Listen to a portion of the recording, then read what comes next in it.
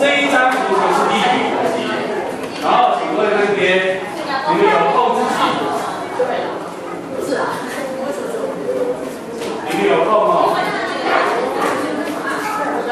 好，你们有空有空的时候，没有听啊，老师你要再念一次吗？我很乐意前面前面帮你看。不要，我要坐在这边看课。好，来，请各位看一下哈。好，注意一下，这张图一定要会。如果你会看图，能够理用背，考试一定也够用。看这边，请跟回答我，有没有看到短流圈？短流圈以上是叫延时圈，列成大小不一的块体，我们把它叫做板块。请各位从侧面告诉我，你看到几块不同的板块？有没有看到五块板块？我画给你看一次，看这边。现在一路上老师框起来没有很准哦，哈，没有很准确。这是一块，然后这边、这边，这是一块。我连同它上面东西都画出来哈，这又是一块，这边还有一块，然后这里还有一块，总共几块？五块。然后我编号比较好沟通，一号、二号、三号、四号、五号板块。同学告诉我，哪两个之间彼此在分离，商业板块边界？有哪些？注意哦，啊，这边他没一，你自己补充。一跟二中间板块这边也有热对流上升在分离，还有一个在哪边？哪里？三号跟四号。哎，这张图没有帮我们画地盘内部的热对流，你自己补充一下。屏幕上各位看到的粉红色箭头是我夸张的画出来的运动方法，比较明显的哈。上升左移动。这个过程，每一个板块之间怎么运动，都跟底下的热对流有关。那早期都讲管流性的热对流，有些学者主张这个热对流的深度可能要更深，啊，到底多深？没有科学家可以告诉我们。所以我们就简化地盘内部热对流就好了。目前还甚至有些科学家认为地核也有参与，但是我们觉得太深了，我们下次可以看。我们都是用地盘热对流简化，好吧？荧幕上看到的粉红色箭头就是内部热对流大致的情况。三四还有一二之间是不是热对流上升？那就属于张裂板块边界。两边的板块一二三四会分离，大部分会在海里面出现。我们看到了中阳脊，陆地上有的话就叫大陆裂。著名的典型例子就是东非大裂谷，也有人把它叫做东非大地线都可以，因为它张力会造成一系列正断层。而形成地线的地形，但请注意，共同特征就是都是以张力为主，可以吗？那因为它裂开的时候是岩浆上游嘛，使地壳膨胀，就像那个面包或花柜一样，它膨胀以后就会裂开，有一个张力把它裂开啊。它那个裂开的时候，主要的活动在表面为主，因此大部分都是浅震，比较不会有超过七十公里深的下面地震，震源状况比较浅。这就是为什么张裂板块边界以正断层为主的浅震居多。好，荧幕上老师把它稍微标一下。哎，前面那张图的图画还记得，我们继续用哈。我把两张图并起来就对了。平面图上面画双线，代表它是属于张裂板块边界。在这边老师荧幕上画的，这就是张裂板块边界的画法。画这样的意思就是两个板块在彼此分离。来，Hello，容许我不换色了，我就这样直接画了，可以吗？两个板块在分离，课本里帮你画黑色箭头，看到吗？从平面图看大概就这个意思。注意，如果有一系列火山形成，中阳脊在这边请看一下哦，中阳脊的方向排列方向是大致是南北走向。老师画的双线就是张列边界，意味着板块之间是彼此分离还是靠近？分离。课本是不是在这边有帮你画一张张列边界的示意图？大概都是这个意思哦。啊，来，问题来了，请注意，看这边，这两个张列边界如果是在中阳节，你会发现它中间会有切断的一个横断面。这个横断面，老师荧幕上用紫。色线画。你们桌面上看到应该是紫色线吧？好，这一段紫色线连接的这两个边界都是张力边界，对不对？但是在这条线上面，注意哦，这一条线上面的北边是往左，南边是往东往右，所以请注意，请各位告诉我，老师荧幕上打勾的打勾的位置是几号板块？三号。老师荧幕上打叉的打叉的打叉的打叉的是在几号？四号。四号，请注意，这一条界线北边是几号板块？三号。三号，往哪边动？左边。南边的是哪一个板块？六号。四号，是往右边动。所以那一条紫色线，抬头，两边是做反向做动，而且分属不同板块，这就叫什么？错动板块边界。那科学家给它名字叫转型断层。请注意，请注意，这里的破裂情况不是只有那么一小段，它是整个都裂开。所以如果考试问你，荧幕上老师画一条细线好了，注意看哦，这边整条蓝色细线是大翅跟张裂边界垂直，这一条就叫做什么？叫做破裂带。蓝色线是破裂带，但是这一条线上不是每一点都是错动边界，只有连接中梁体两边这一段紫色那根才是。等一下我们拿题目练习啊，会比较清楚，比较好沟通。好，注意一下，现在所讲的这些地方都是以表面的错动或张裂为主，因此都是前正。刚才前面表都看过了哈。再来，请看聚合板块边界，请看荧幕，哪两个板块之间在彼此聚合？哪两个？四。二号跟三号有没有？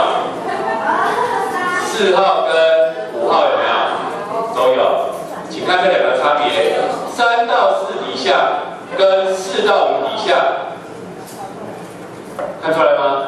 这是海洋地壳所在板块下去的，差别在哪里？左边这个图形碰到的二号板块的位置是大陆还是海洋板块？二三碰撞的位置是一边海一边陆，对不对？但是三呃四跟五是两边都海，所以会还是会有点差别哦。差别在哪里？第一个，被碰到这块陆地，我笔画粗一点好了哈。被碰到这块陆地会缩短还是变长？你课本的图是已经画好了结果了，抬头一下。你现在如果一只手当做一个板块，另外一只当板块，这样一起挤，大陆板块这一块会被挤压而缩短，是会隆起。对。不但隆起，它还会产生的现象。你看荧幕，三号往下隐没，我们有讲过吗？越往地球内部温度会越高，高到某一个程度，是不是岩石会熔融？好，我现在换个颜色哈。荧幕上各位看到的黄色底圈的位置，有哪些东西融掉？第一个你要了解，荧幕下面这些板块是老的还是新的板块？好的。是远离中阳体的老板块，所以上面除了海洋地层。应该有厚厚的沉积物，可以吗？那些沉积物大部分都是陆地上拍在一起，然后再加上它会穿过大陆地壳，所以是会混杂了大陆地壳的花岗岩质或沉积物的材料，加上海洋地壳的水土岩质，就混出来它就变成两者都有。所以甜美值没有像水土岩那么高，气质也没有像花岗岩那么高，两者之间就对了。这就是我们常讲的安山岩。所以你可以把它想象成这座山脉就是安第斯山脉，请抬头，它是一个地壳被缩短隆起，再又有岩浆穿进去的，所以它是在山上面再加山嘛，所以难怪南北天山山山脉那么高，而且山上还有火山活动，对吧？哈，因为它有隐没造成的安山岩质岩浆活动，请注意这个考试题看好。好，问题来了，请注意哦。这个岩浆上来，是不是在这形成一系列在山脉上面要造成火山，所以一般就把它称称为火山山脉或火山岛湖都可以。那比较通俗的讲法就是这个叫火山湖。湖什么东西？这一条就是线状或弧状，请注意它跟海沟会有什么关联？这两个地形的走向会有什么关联性？大致平行排列。这个观念在解。会有这样子，它的方向。三是以摸到二以下，由东往西以摸，东边会先看到海沟，西边再看到岛湖，可以吗？请看右手边。四是以摸到五以下，先看到谁？一定是海沟。隐没位置会出现海沟。荧幕上老师用蓝色线画的，如果要画标准，应该画个七号。老师画的三角形尖端，我涂了哈，就代表前面那一张涂了隐没带，可以吗？老师画成这种类似像冷攻击号的三角形尖端，长哪边会在反方哪边隐没？先勾再弧，这个就是海沟。我用深色一点哈，这边会看到海沟，请各位看一下课本图了。课本有没有把以前海沟两个字？没有，因为这很重要。隐没边界会看到海沟，可以吗？好，隐没边界会看到海沟，而这个海沟三角形尖端会朝向隐没方向去画。然后你会看见沟跟这个火山湖大致平行排列，但是请注意，这个火山湖主要是什么岩为主？安山岩质为主。然后请各位告诉我，安山岩的走向，这个这个山脉的走向，跟这个海沟的走向是南北走向？和板块运动方向垂直还是平行？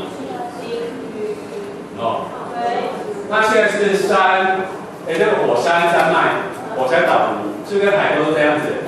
是不是跟板块运动方向互相垂直？你这个方向后面大家都会用到。看这边，刚才画的这个中阳体双线的哈，它是这样分离。那这个中阳体大致走向虽然有切开，还是南北向嘛？会跟板块的分离运动方向垂直还是平行？也是垂直。红粉红色箭头是代表分离的方向，它的双线是代表走向。中阳体也好。火山岛湖也好，海沟也好，都会跟板块运动方向互相垂直，但是也会出现一些岛屿，它不是这种情的。那科学家怎么解释？用热点火山来解释，像夏威夷群岛这种。然后你们有空看一下特本海底地形图，麻烦各位先抬头看一下这边有个白板，你们待会会我会拿课本给你们找啊。来，这个地方就是太平洋板块内部，这个就是几乎。正中央这个夏威夷大岛，很多人会去夏威夷看岩浆活动哦。为什么？因为它是宁静式喷发，你可以远远的去看它的流动，没问题。当然靠近还是危险。可是如果是爆炸式喷发，连逃命都来不及了，更不可能在那欣赏，除非你很远很远看哈。所以像太平洋周边有很多的火山，几乎都是属于海陆这种聚合边界，那就会以安山岩质为主，爆炸式喷发。但是如果是像中阳脊，或者是像这种热点火山，基本上是以玄武岩质为主，所以是宁静式喷发，可以去欣赏那个熔岩流的样子。好，有没有看到这边有一系列岛屿？它有没有在板块边界？并没有，那就用另外一种方式解释了，看对吧？好，现在请各位先回答我，你有没有在四号跟五号之间找到一些岛屿？我圈起来给你看。我用蓝色笔哦哈，荧幕上老师圈起来的，圈起来的，圈起来的，这一些岛屿怎么形成的？就是四号隐没下去的时候，岩浆活动喷发的，请各位立体想象。好，这边他又没写，你自己画一下。这边应该有什么地形？海沟。然后三角形尖端要朝右还是朝左画？朝朝右边，朝隐没方向画。我现在要讲地震，听好了哦，请各位回答我。荧幕上老师编号一下哈，因为图画的有点脏乱了，我现在直接用粉红色笔写。荧幕上这里是海沟还是岛湖？海沟。先海沟隐没，对不对？从海沟边隐没，然后再慢慢沿岛湖方向沿到后身才有岛湖嘛？可以吗？好，现在请各位回答我，一号位置跟二号位置哪里的地震震源会比较深？二号。为什么？因为你看哦，两个板块的交界处是在这里。这条老师画的粉红色一直画一直画这里是哪里？是不是刚好两个板块挤压在一个地方？你看到，你的两只手这样出来就是受力最大在哪里？是在这个交界处。所以它这个隐没下去的时候，在刚开始隐没那里是海沟，会很深还是很浅的地震？很浅，懂哈？所以真正来讲，海沟附近有深源地震讲的不是海沟的位置，是隐没下去那个方向。所以讲白话文跟讲到讲文言文是这样讲，从海沟也就是一的位置，往二的方向下去，这个方向会正圆深度从浅到中到深，这才是标准的啊。也就是说，从海沟往老湖方向，正圆深度会越来越深越来越浅？越来越深，OK 吧？所以考试的时候就会这样考你。假设现在这里有一条海沟。然后在那北边有一群岛湖，大致跟它平行，我就简单写一个湖，好不好？现在请各位回答我，A 板块跟 B 板块两个板块是属于张掖聚合还是错动板块？聚合。第一个，你看到海沟跟岛我，就想到它是隐没作用造成的，一定是聚合板块边界。第二个，请问你 A 往 B 隐没，还是 B 往 A 隐没？刚刚都做过了，隐没下去是不是先勾再补？所以应该是 A 往 B 还是 B 往 A 隐没？A 往 B 向北隐没，是大致跟这个走向互相垂直。第三个，请问你正圆从 A 向从这个交界线来看的话，好，我现在打三个点哈，这一个老师画的那个蓝色小点，然后再画三角形哈。然后再做一个正方形，好，好，请各位告诉我，这些老师画的点点、三角形跟正方形，这个每一个位置代表的浅正几号代表的？正圆深度比较浅的那个正正压点点是最浅，然后往北边是移过下去，所以北边的地震就会从中原到深原呈现这样的分布。对不对吧？这考试会考，我们后面台湾的有考过了，等一下我们都做练习哈。所以你先看这张图，这张图都看懂了，就比较容易理解。现在，现在请各位看最后一个，有没有看到这里有一个火山岛？这一座火山岛是在板块边界吗？不是，它是从地下的地寒热柱，或简称为地寒柱。好，那如果你要看清楚，就把它写。注意一下，这个地寒热柱从地下很深的地方涌生，代表这里的温度特别高、特别低、特别高。然后它延伸到这个位置，是会在地壳上烧穿，并且岩浆流出来，这个就叫做热点。请各位把这一座岛屿特别在这边注意一下，它是热点火山，它不会一片，它就是一座。但是各位这张图在出现的地方是。它会不会真的只有一座？不会，因为板块是几号板块内部？就是荧幕上老师标的四号板块内部。它这个板块是一直在往东边倒，所以它就应该不会只有一座火山。你抬头，如果老师的手当做四号板块，是不是一直往这个方向移动？那这个点如果从边上来，是不是形成一座火山？这座火山就会跟着跑掉，所以它应该形成一串火山才可以。所以不应该只有一座，不能太简略。它应该会有一串的火山。因为这里不是突然存在，它应该很久以前就在那边的，对吧？所以我不用这张图讲这点了哈，我们换一张图讲这里。现在请各位自己把这张图跟上面这张图结合，最好能够再跟这张表结合，那就通通都懂了。这是整体的结构，三类边界。然后现在请各位先直接跳到课本的火山种类一百二十页，我用这张图解释。这两张图解释哈，哎，这张只有火面图，介绍是哪两种火山？后面有火山跟隐没带火山。Hello，这是隐没的过程当中形成火山岛湖。这边写两个字上去，哎，三个字好了，安山岩。一百一十三页的图五十三，这张比较简单，先写。这个这个大部分都是什么岩？安山岩。刚刚形成过程有讲过了，用这张图就很清楚。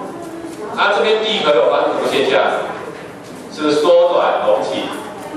然后有一些是被挤下去，哦，然后在这边请注意哦，岩浆会不会在这边就有了？不会，一定要够深才会有。那这个位置通常比较深的，所以也会出现中原到深远地震。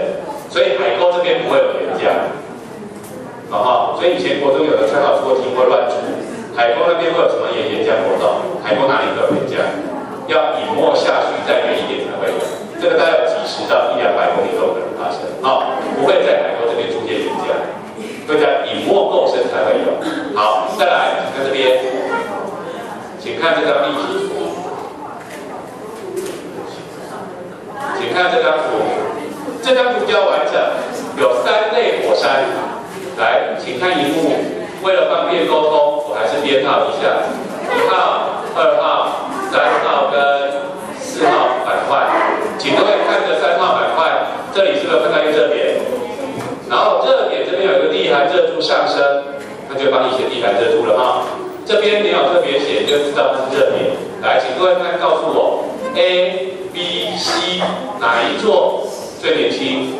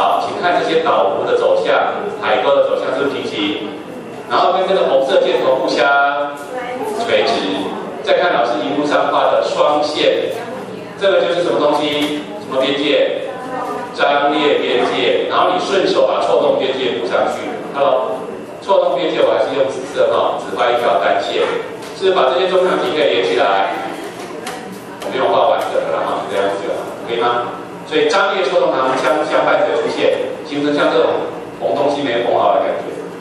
好，重点就是重点就是，Hello，这是二号跟三号是分离板块边界的火山，中阳体、岛弧、山脉都一样，只要是巨头或张裂，一定会走向跟运动方向垂直，因为一个是拉开的，一个是挤在一起的，都一样。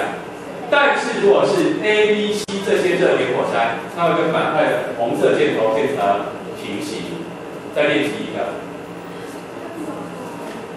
再练习一个啊！荧幕上这边有四座火山在这里，可以吗？好，那请问你，哦，小 A 哈，小 A、小 B、小 C、小猪，哪一座火山会最年轻？因为它的热点正在，而且正在活跃的活火。这边它连贯，你想象一下，底下有一个热柱从这边烧穿，对不对？所以 A 就在这边，然后往猪的方向越来越好，而且而且它的排列方向会跟红色的出箭头板块运动方向相互平行，那就代表是什么意思？它是非板块边界，而是板块内部的火山。而形成的排列跟板块边界是不一样的特征，而且年龄会不太一样。请注意，刚刚才讲过，中阳体老师画的双线位置是年轻还是老的火山？年轻的嘛，扩张式嘛，对不对？可以吧？所以它的年龄都差不多是最新的吧。但是这几座火山 A、B、C 柱有没有一样？没有，就是有老、有老、有年轻。越老代表越靠近的越离热点，越越离热点。好，现在我们就用这些关键来解题哦，请各位回去再把这些图练习一下。现在我们开始练习解题哈。首先，请各位先看一下这个板块学说的共同练习题，其他有些图你回去自己看。先看一下那个一百一十四页的范例二。这张图形上面有各种板块边界，先请各位回答我，最好弄懂。我刚讲过，像这一题它只有出两个小题，我会改写。看这边，请各位回答我：甲、乙、丙哪一个是错动板块边界？甲。甲。因为这个乙代表什么意思？中央脊张裂边界，我把它画完整一点。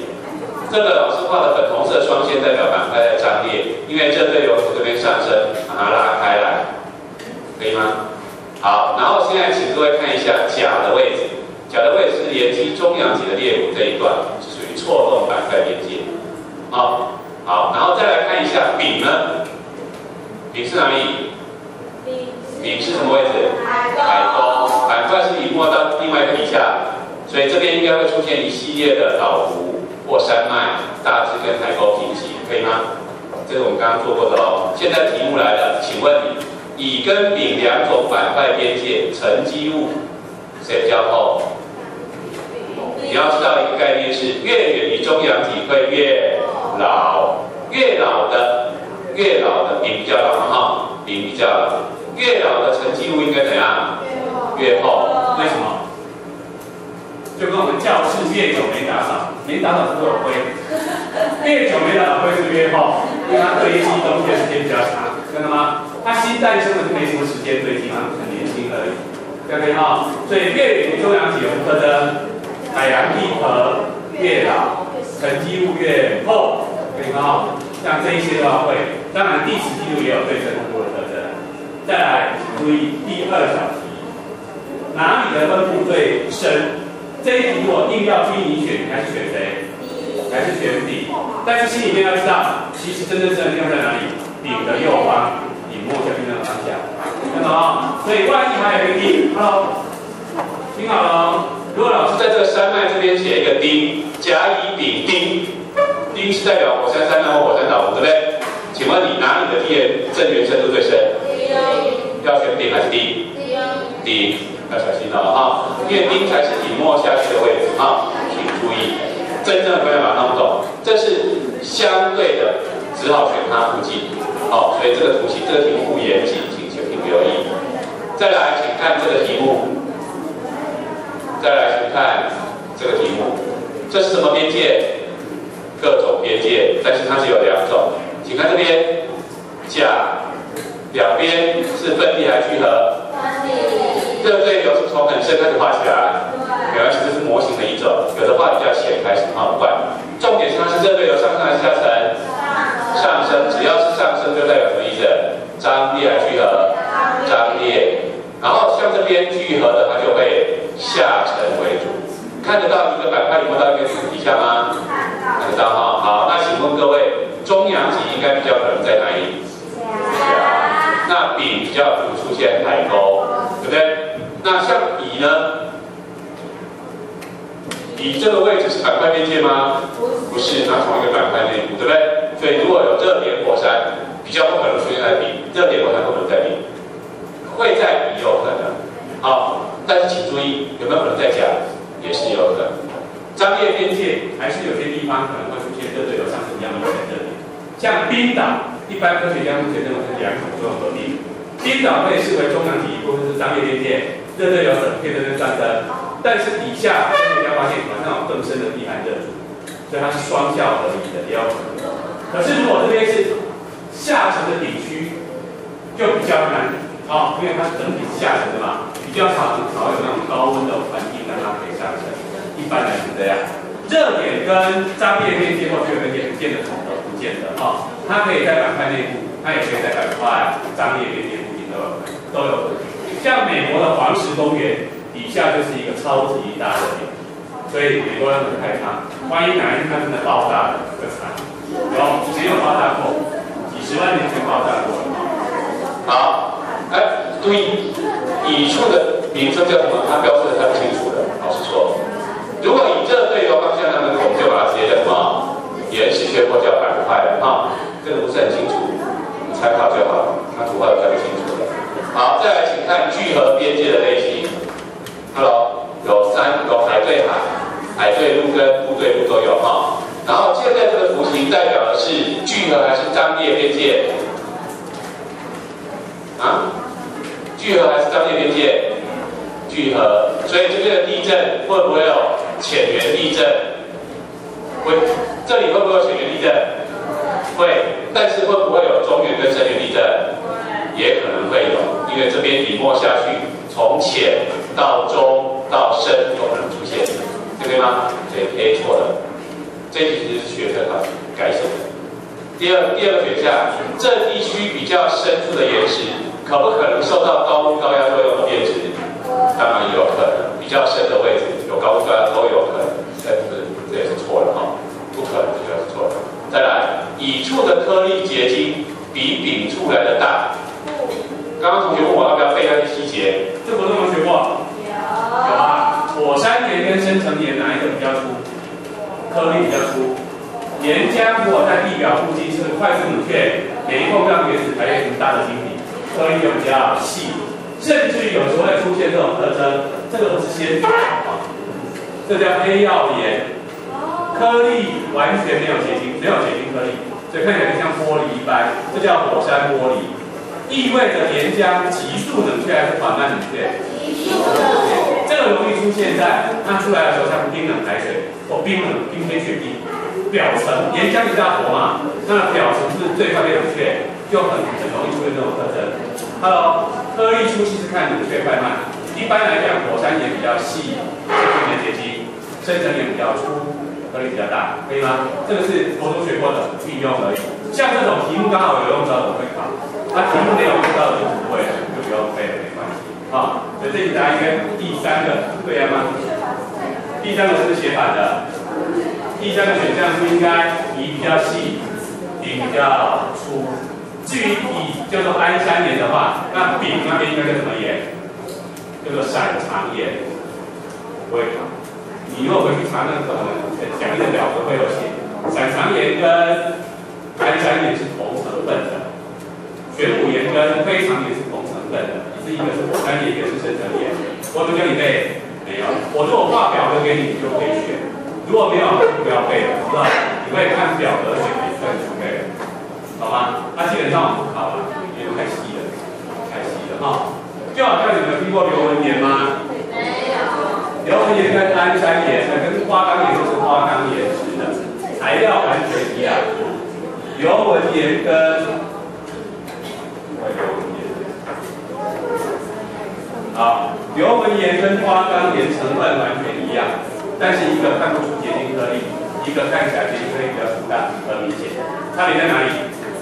同样都是全部都是花岗岩岩浆，这个在地下深处的深层岩，这个是流出地面的，好不好整个一个比较细小，它因为它会有流动的纹路，对是会有纹。它这个你不用背了，表格都有，考试就算有考试会附表格，应该是拿就好。这两个成分类似，成分一样，但是颗粒粗细不同，是因为什么原因造成？冷却快或慢，所以所以像这个更细，这个颗粒更细小，几乎没有结晶，然后甚至里面有很多的气孔，所以形成所谓的浮石，听过吗？它会浮在水面上很轻的。哦，像这个都是成分一样东西，但是颗粒有粗有完全没有结晶的，啊，完全没结晶的就是代表非常快非常慢，非常快，这样就好了。这个是国中就学过的知识。它能够解这种题目表，学测题目比较全面，所以你高三的时候还是要背一下。现在我不要求全部都用一种常用模式，好。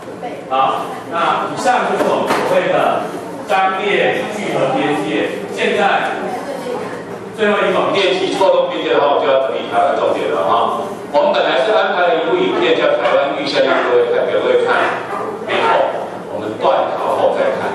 当做一次作业，到时候再做哈。但是我们这一次，这一次还是请各位先把这些板块的整体概念弄懂。请看这边，这一张图形是错动板块边界，不一定在海里面。Hello，任何板块边界都不一定在海里面，或者是在陆地上。海洋有，陆地也会有，都有哈。啊，这边各位看到这个边界，就是在洛杉矶跟旧金山这附近这个断层。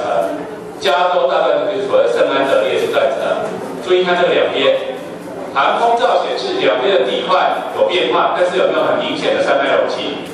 并没有，地势不会很高。旁边我帮你画一个简单的指示意图，可以吗？好，我现在帮各位补充一下，因为它图片有写，但是有时候你会看不懂，请看荧幕，老师在荧幕上打四个点，有没有看到这边有一条线叫做破裂带？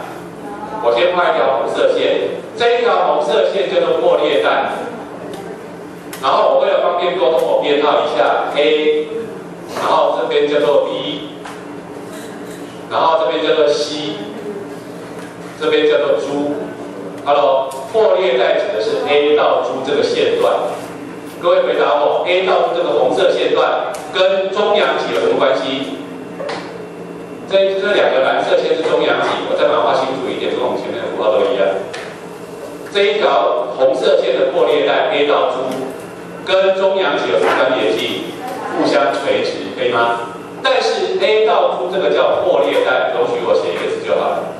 那哪一段才能叫转型断层，或叫错动板块边界？只有哪一段？只有 B 到 C 这一段。为了清楚，我还是回到紫色好啊。B、C 这一段特别叫做转型断层，只有这一段才能叫做转型断层。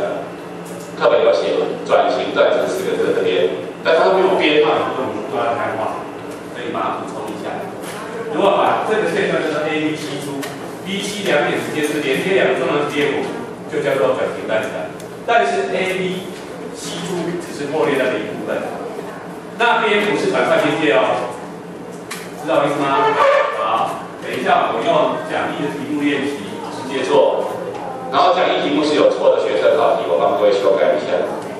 好，这个先补充一下，要把它看懂哈。然后现在请各位看这边。课后练习在一百一十六页，这一题是学测考题，题目出错的学测考。然后我出题我会改写，请注意，A 猪 CF 是中阳体，题目上写的哈，我先画出来，跟前面的符号都一样，图很不清楚，那字看不清楚了哈，我看不清楚，也许你眼睛比我好一点。老师，荧幕上画的粉红色双线代表中央脊的中央断裂骨，或简称为中央裂骨。Hello，中央裂骨指的是什么？指的就是 A 柱跟什么？我们看不见符号。啊？哦，改改一下哈。C，呃，C 这边，这是 F，F 有看到吗？然后这个是这个是那个猪，这一点是猪啊，它这个这一点应该是呃一吧，一比较合理啊。这个这是一哈，好，用红笔画，B 在这里，C 在这里，猪在这里，一在这里。你们你们讲义上纸本的有印清楚吗？好，好，请看这边。破裂带指的是哪一段？破裂带是哪一段？整个把中阳脊切断这一段 B 到 E，B 到 E 就是破裂带，B 到 E 这一段叫做完整的破裂带。我写一个字就好哈。但是只有哪一段可以叫转型断层？只有西珠这一段可以称之为转型断层。西珠这一段叫做转型断层。但请注意。它这两个一般来讲，以这张图形来看，Hello，它是左移还是右移？以这张图形来看，左移还是右移？你没有看过左移右移吗？我教你就好了。看一下老师荧幕上的红色箭头，回答我，这个红色箭头是在 CF 旁边，还有 A 柱旁边，分别向左向右，因为这边这个又是怎样？上升以后向两边拉开的嘛，对不对？所以请注意，粉红色双线代表张裂边界，对吧？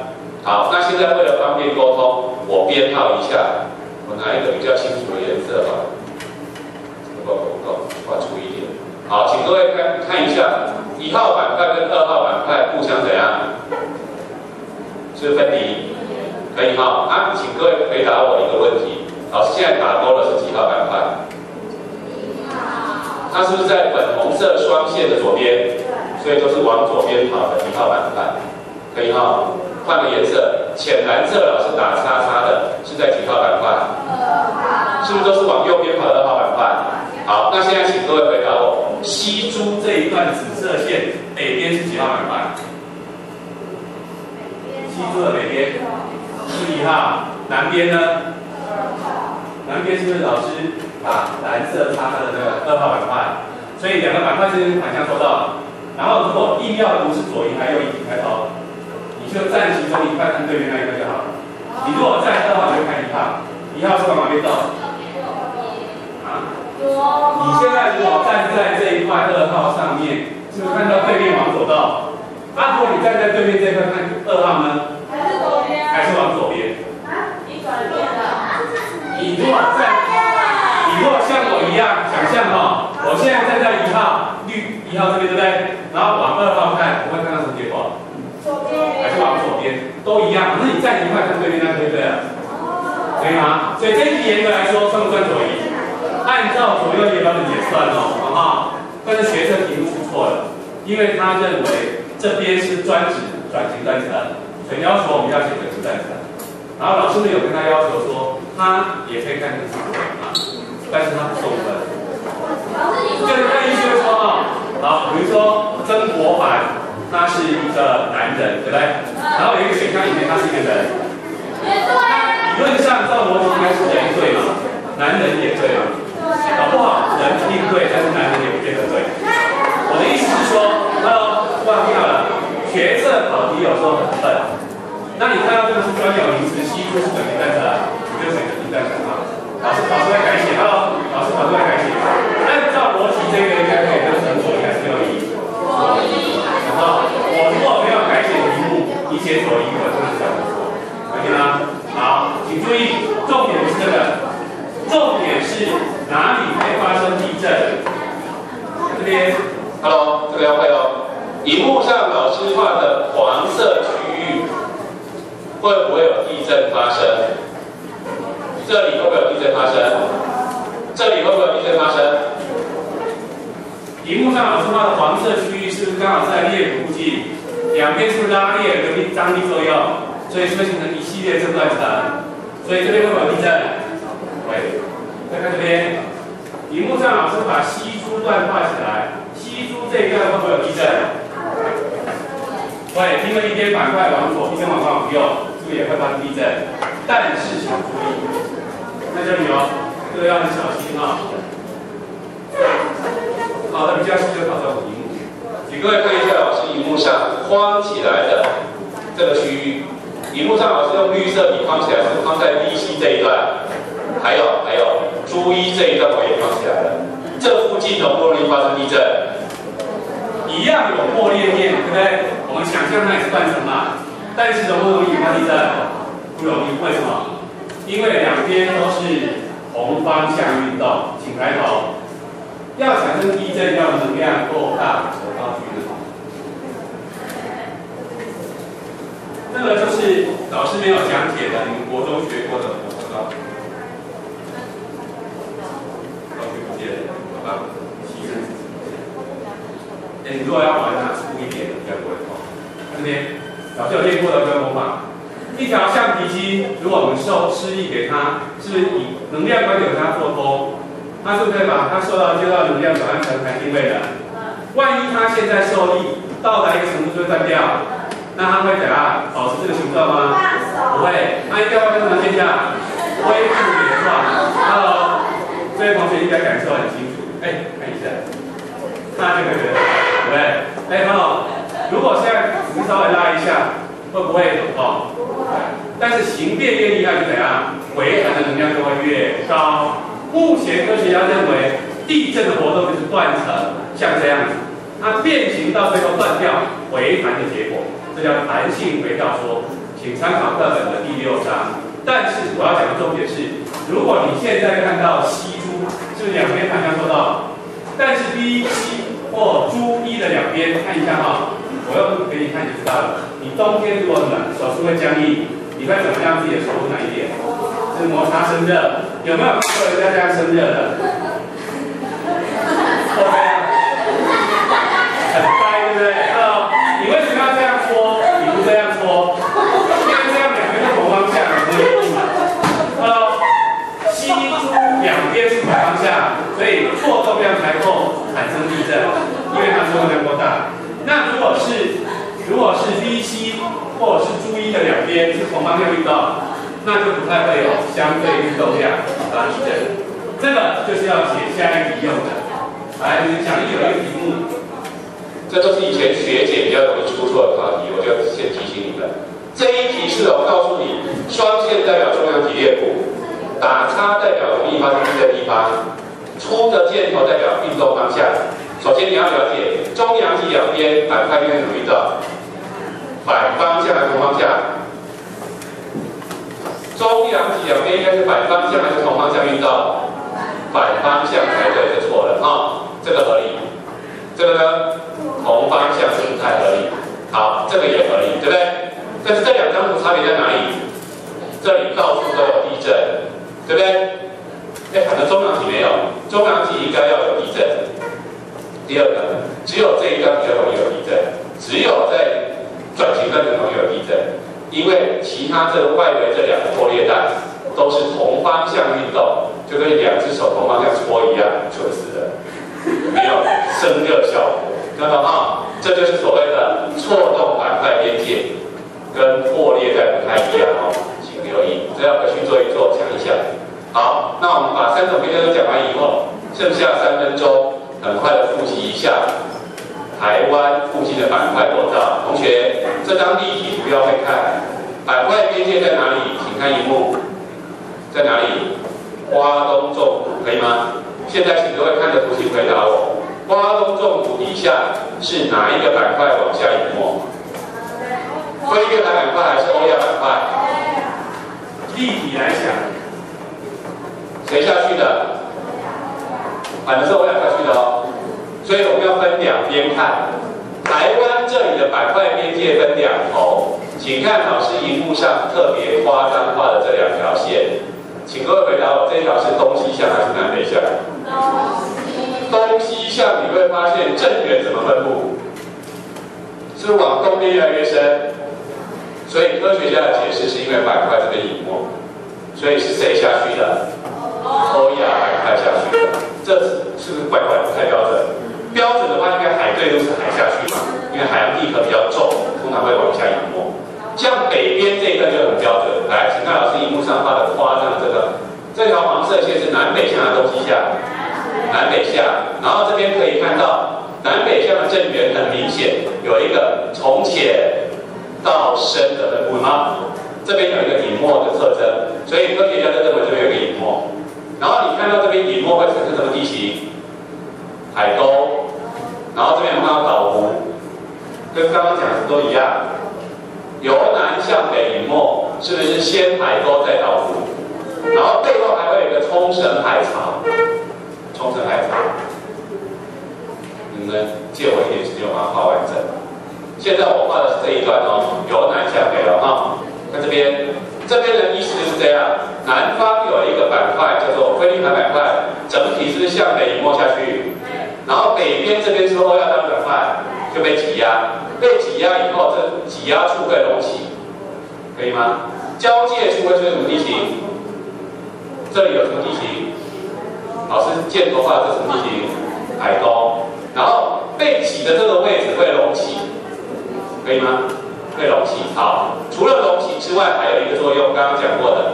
这个板块，菲律宾板块是向北方移动下去，所以隐没到一定深度之后，这边就会有岩浆活动，岩浆冒出来就会在这边形成岛屿，这就是琉球岛湖、琉球群岛，可以吗？所以粉红色笔画的这个是岛湖，蓝色笔画的就是海沟，可以吗？好，但是这个被挤压的前端拱起来，后面会怎样？自然的凹下去一点点。所以，如果我现在把海平面画出来，我有点画斜斜的哈。我现在画细一点。假设这个是海平面，请注意，老师画的这条海平面是不是有一个特别深的海沟？这里会有一个特别深的海沟，有球海沟。然后这里会有一个岛湖跟海沟平行，而在湖后会有一个凹下去的地地形。我画的太夸张了，这个没那么深，稍微凹下去而已。跟我们这个手一样，或本子一样，请各位抬头一下，好，各位看一下这边，如果现在老师把它顶高，看到没有？被顶高的位置是不是隆起来？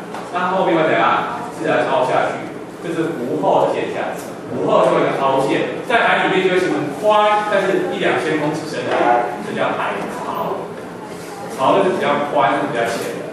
然后沟就是比较深，那相对比较窄的地形，海沟可以超过五六千公尺深，但是海潮我刚刚画太夸张了哈，大概一两千，所以你会看到很标准的隐没带，沟、湖、潮平行排列，这代表标准的隐没带。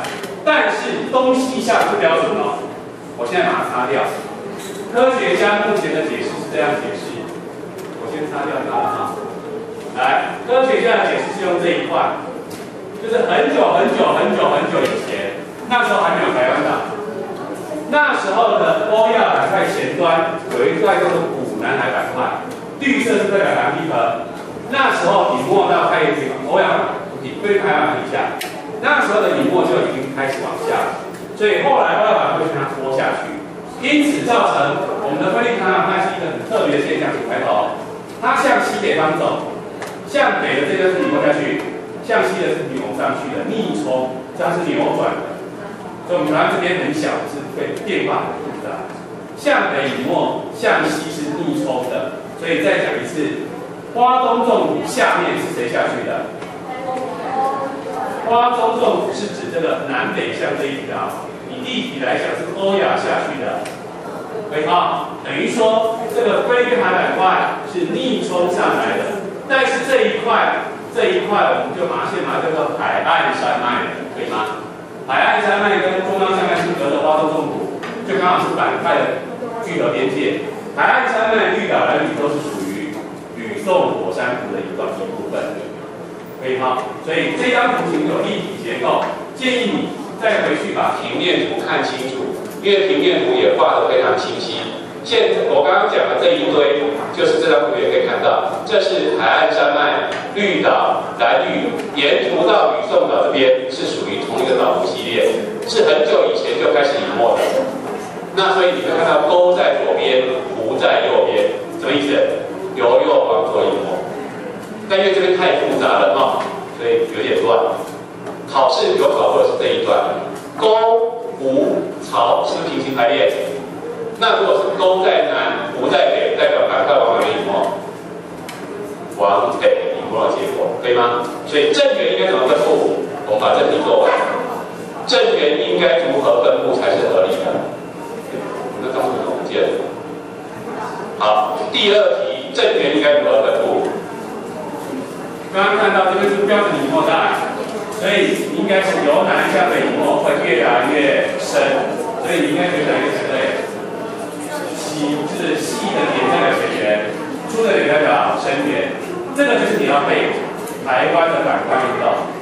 至于其他地方的板块运动是南北向、东西向还是什么向，他会给你图形去解析，不会让你背。不好意思，根据经验，台湾的宝贝，跟台湾有关的得背一下。像这边他就没有画。要给你参考，你就要准备。你要知道台湾东北方是由南向北，分海板块隐没下去，所以分别跟这种特征。那考试如果问你，请问，请问荧幕上老师画的位置哈，一跟二，应该哪一个会是海沟，哪一个是岛湖的位置？啊，一跟二哪一个是海沟，哪一个是岛湖？二选一。是一海沟二岛湖还是二一海一岛湖二海沟？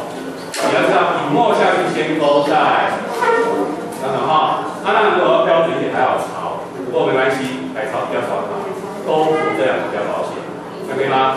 好，以上这就是我们台湾附近的南块做车运动。Hello，至于像这种题目都是读图的，甲两边学过吗？甲两边就是断层，我画大一点。甲两边是不是有看到一个深色地层，长这样。那如果这个深色地层长这样的话，这代表指标地层嘛，本来应该连在一起的。那你们除过上盘下盘吗？一跟二哪一边是上盘？断层在这里，一是上盘，是逆向上升，就叫逆断层，的。好，然后回去再把这些题目做一做。时间不够了，回去再自己练习做这些题目，跟台湾有关的都特别做一做。好，那我们讲过这个不考，还记得吗？台湾岛形成过程不考，台湾岛形成过程不用背了，因为连这边都还没搞定，那个形成过程是猜的，我不要你们背了哈，你们不要背这些了，你们先把台湾板块的边界跟隐没再把它弄清楚就好了。历届试题考过的，跟台湾有关的都做一做。好。